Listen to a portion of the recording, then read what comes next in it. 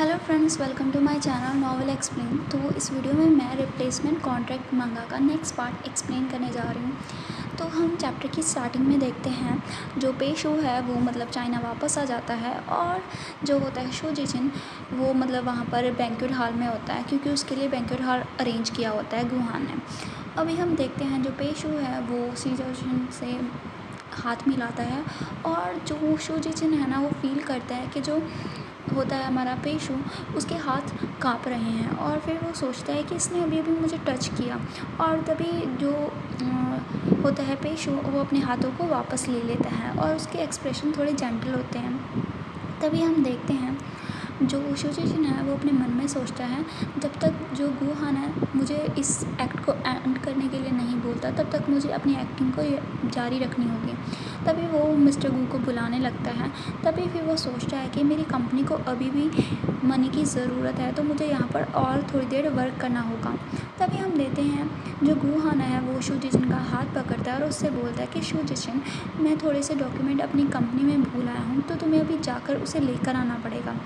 तो जो होता है शू जिशन वो उसे मतलब मना करने की कोशिश करता है, तभी गुहान उसे आँखें दिखाता है। तो फिर शू जिशन को उसकी बात माननी पड़ती है और उससे बोलता है, ठीक है, मिस्टर गु मैं समझ गया, मैं अभी जाता हूँ। और वो वहाँ से जाने लगते हैं। तभी हम देखते हैं, जो सूर्य चिन्ह है, उसके एक्सप्रेशन चेंज हो जाते हैं और वो काफ़ी हैप्पी लग रहा होता है और वो अपने मन में सोचता है कि मैं आज का जो पूरा एक्ट करते हुए थक चुका हूँ, अभी मैं वापस घर जाऊँगा और घर जाके अपनी फेवरेट क्राइफिश खाऊँगा और वो काफ़ी ज़्यादा खुश होता है।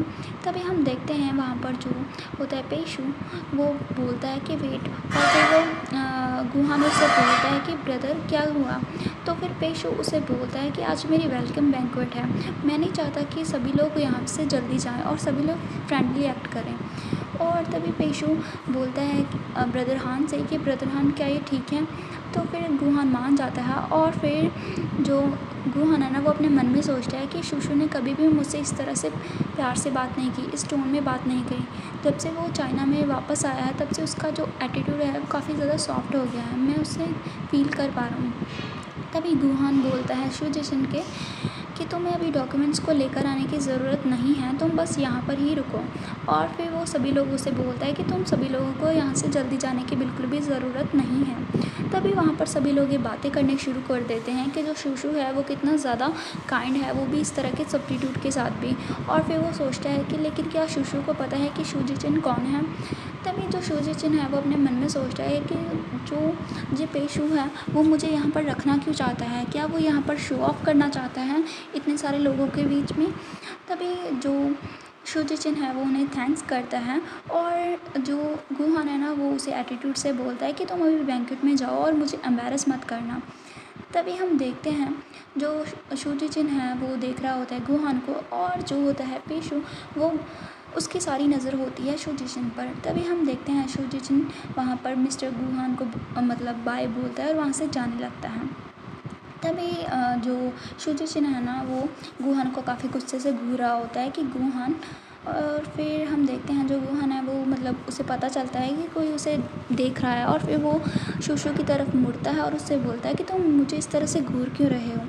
तभी जो पेशो है, वो ब्रदरहान से बोलता है कि ब्रदरहान क्या तुम अभी भी वैसे ही ब्रदरहान हो जो मुझसे जो तुमने मुझसे वादा किया था क्या तुम्हें याद है और फिर वो उससे बोलता है कि तुम्हारा दिल क्या अभी चेंज हो चुका है, तभी जो होता है गुहान ना वो सोचता है कि क्या शुशु मेरी फीलिंग्स को कंफर्म कर रहा है।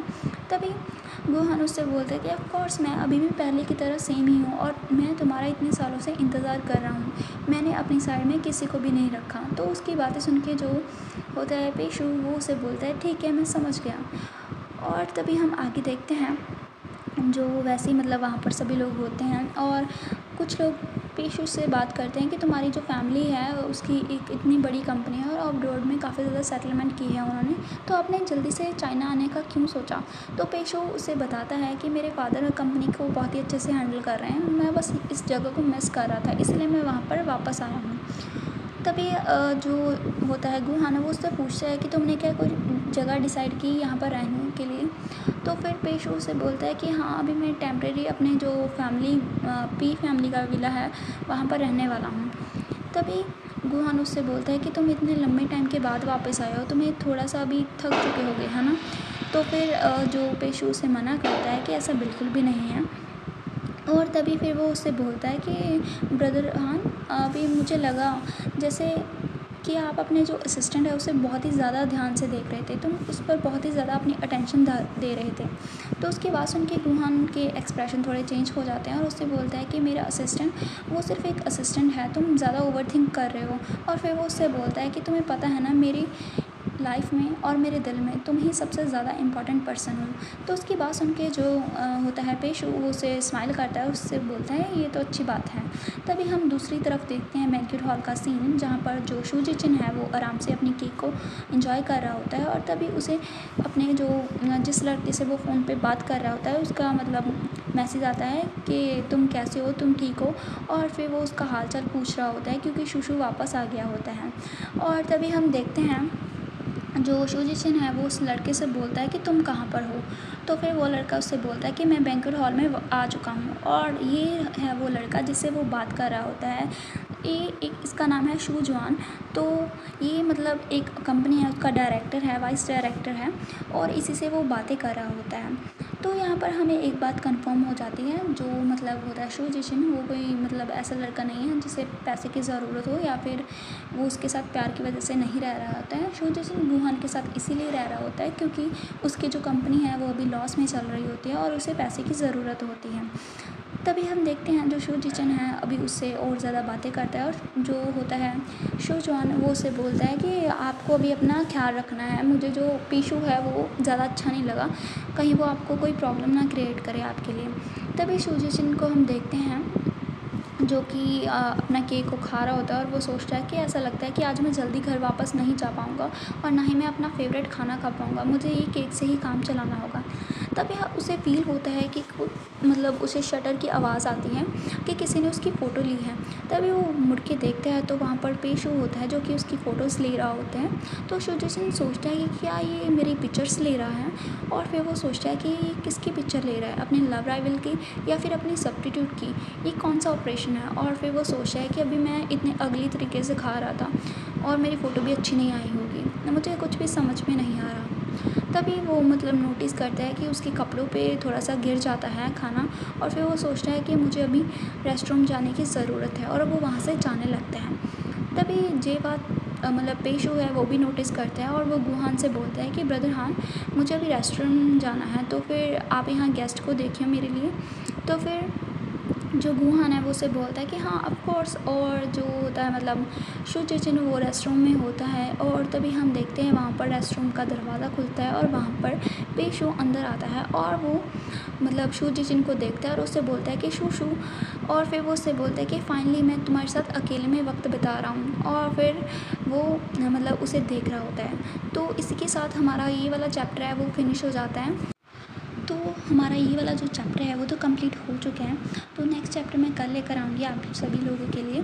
तो उम्मीद है आपको ये स्टोरी अच्छी लग रही होगी और इसका जो प्लॉट ट्विस्ट है वो आपको कल पता चलेगा। मैं अभी उसे नहीं ल, आ, मतलब आप सभी के सामने लेकर आऊँगी। और वैसे आप लोग मुझे बताइए पेशों को देखकर आपको क्या लगता है कि क्या ये सच में मतलब बॉटम हो सकता है? और फिर वो आपको क्या लगता है, क्या ये सच में गुहान को पसंद करता है? आप लोगों को मैंने हिंट तो दे दिया है, बाकी आप लोग खुद की इमेजिनेशन लगाइए और मुझे कमेंट में जाके बताइएगा। बाय